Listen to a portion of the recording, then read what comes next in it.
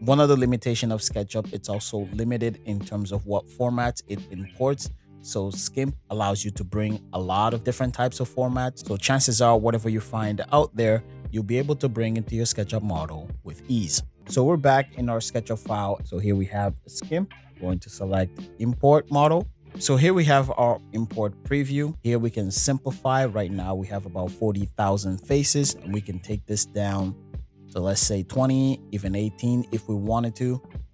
You can also rotate on X, rotate on Y. You also have model units, inches, feet, millimeters, just a few settings you might want to be familiar with.